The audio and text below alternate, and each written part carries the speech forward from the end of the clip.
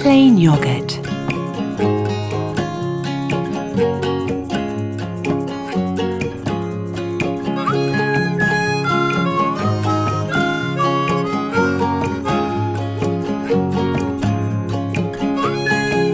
With your Thermomix, you can make your own natural yogurt with no effort.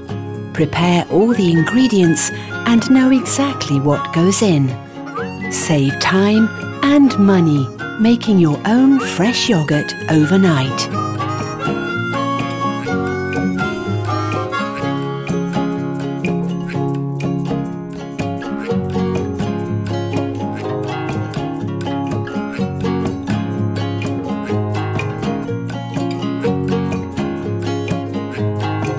The kids will love it, and so will you. Try it.